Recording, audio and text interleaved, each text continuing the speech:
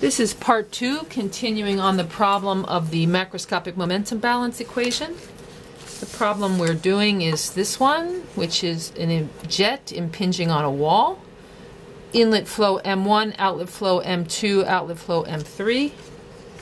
We performed a mass balance and a, micro, mac, um, mechanical energy balance, which let us know that the velocity was the same in every stream.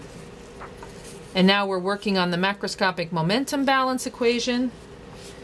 And we've written it this far and noted the definitions of the various terms in the macroscopic momentum balance equation. And this is where we've arrived, where we've written these three convective terms and the force on the wall, which we're trying to calculate. So we can look at the z component and we see that 0, 0, 0, we see that RZ is 0. We can look at the x component, and we see that m1 v at surface 1 minus m2 v at surface 2 times sine of alpha plus m3 v at surface 3 sine of alpha is equal to minus Rx. And the y component, we have 0 minus m2v at surface 2 cosine of alpha plus m3 v at surface 3 cosine of alpha equals minus ry.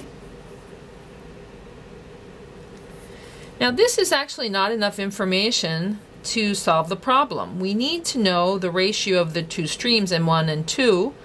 We know that M2 plus M3 adds up to M1, but we don't know the split.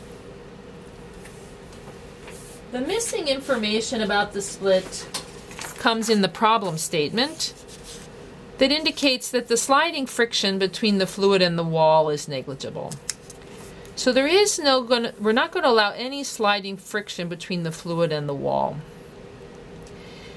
The force on the wall, if there is no sliding friction, the force on the wall cannot have this little component here that I've drawn that kind of is tangential to the wall. In fact, the force R must be perpendicular to the wall if there is no friction at the wall.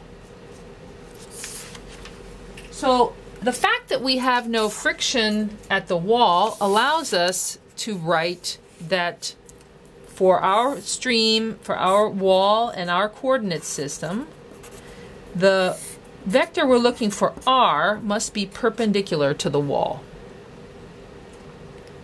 So that allows us to write that if I write a, a unit normal vector, um, if I if I write this vector, which is in the plane of the wall, um, I can just call that uh, the J, um, let's call it the W vector, the wall vector.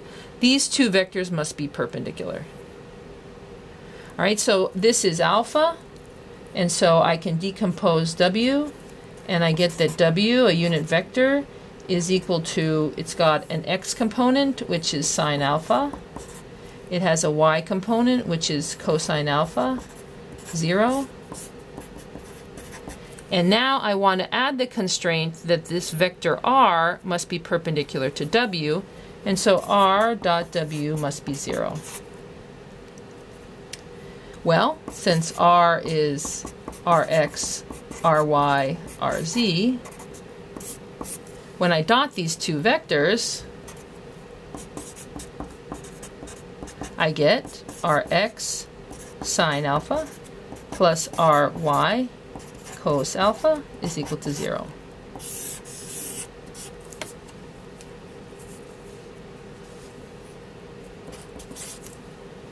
This additional fact, plus the two components of the momentum balance, is now, plus the mass balance result,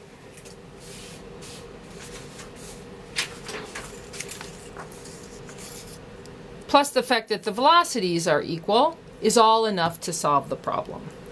So the rest of what we have to do is just a bit of algebra. So we can get it started and then maybe leave the rest to you. We also know actually that alpha is equal to 45 degrees. And so the sine of alpha equals 1 over the square root of 2. And the cosine of alpha is also 1 over the square root of 2. So they're equal to each other and equal to 1 over the square root of 2. So beginning with the momentum balance, we have m1v minus m2v times sine alpha plus m3 v sine alpha equals minus rx. And minus m2v, I'm going to call this sine of alpha because sine and cosine are equal, plus m3 v sine of alpha, just reducing the number of variables I have to rewrite, um, ry.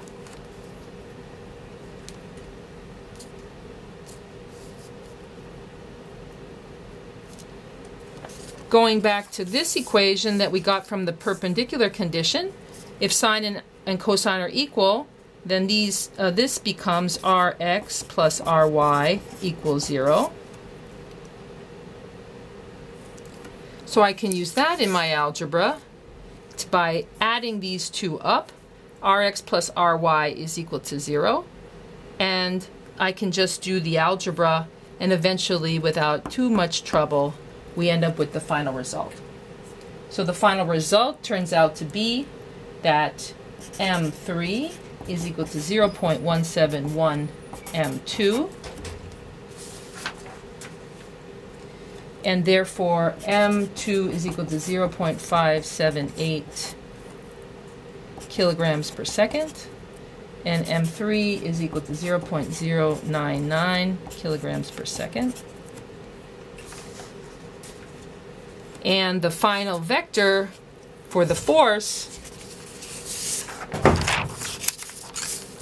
is given by R equals 2.03 newtons minus 2.03 newtons, 0, xyz.